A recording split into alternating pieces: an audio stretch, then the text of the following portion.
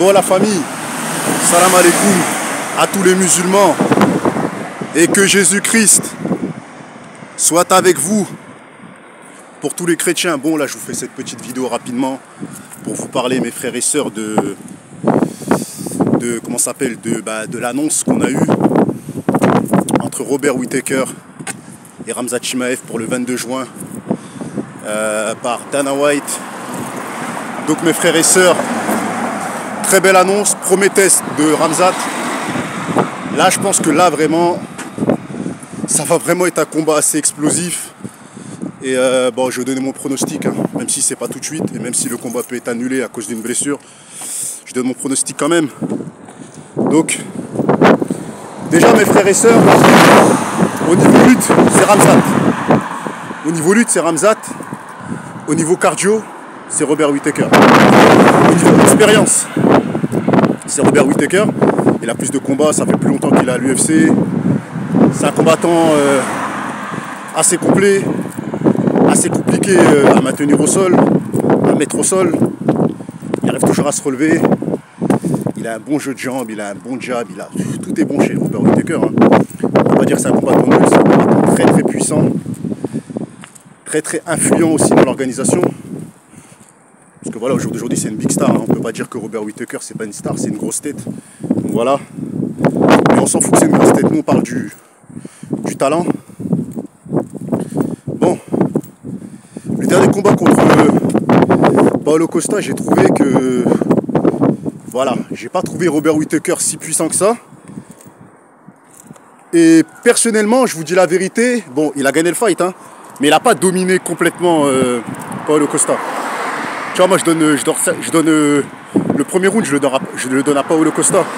Après les autres rounds, je trouve que Robert Whittaker a dominé, mais c'était pas, tu vois, c'était quand même chaud le combat, t'as vu? Le combat il était assez compétitif, et je pense que dans une revanche, je pense que Paolo Costa peut le finir, parce qu'il a quand même mis un high kick dans la tête à Whittaker et ça l'a fait vaciller, et je pense que quelques secondes de plus, il aurait pu le TKO. Par contre, le combat où il a pris une raclée contre Dricus Duplessis, là on a clairement vu mes frères et sœurs que lorsque tu fais la bagarre avec euh, Robert Whittaker, tu as des chances de le toucher parce qu'il commence à être ouvert, tu vois. Son manteau il commence à être visible et toutes ces choses-là. Ramzat aime faire la bagarre. Ramzat peut-il mettre KO Robert Whittaker? Je pense que c'est possible. Hein, dans les deux premiers rounds parce que voilà, il n'a pas beaucoup de cardio Ramzat. Maintenant, moi la question que je me pose c'est est-ce que Ramzat va réussir à ramener le combat au sol et le finir? Parce que le seul moyen que Ramzat gagne, pour moi, je vous dis la vérité, c'est soit le met au premier round, avec un crochet comme il avait fait à, à Aliskerov, là, Ikram Aliskerov, c'est soit le fait, il fait comme d'habitude, il le soulève et il le que ce soit en 5 rounds. Si c'est à 3 rounds, je pense que Ramzat il a des chances de gagner à la décision en le mettant au sol deux fois, c'est-à-dire euh, premier round, deuxième round, il maintient au sol, troisième round, il fait du striking. Je pense que si c'est à 3 rounds, Ramzat a ses chances. Et moi, je vous dis la vérité, je suis pour Ramzat. Même si à l'époque, je ne l'aimais pas trop, je m'aperçois qu'il devient humble avec euh, les combats qu'il a eu assez difficiles contre Kamaru Osman, contre Gilbert Burn. Il a changé un peu. Je ne sais pas si vous avez remarqué. Il dit plus, je vais éclater tout le monde. Il a arrêté ses histoires de, de terminer tout le monde. Dans le fond, en fait, j'ai compris que c'était stratégique, c'était pour faire du buzz. Et c'était pour qu'on lui donne des gros combats en fait. Il insultait tout le monde, c'était juste pour qu'on lui donne des gros combats et il a réussi. On lui a donné des gros combats. Donc voilà. Donc moi je vous dis la vérité, c'est soit. C'est soit mes frères et sœurs Ramzat le termine par un crochet, comme Aliskerov, comme il avait fait Aliskerov, ou soit le finit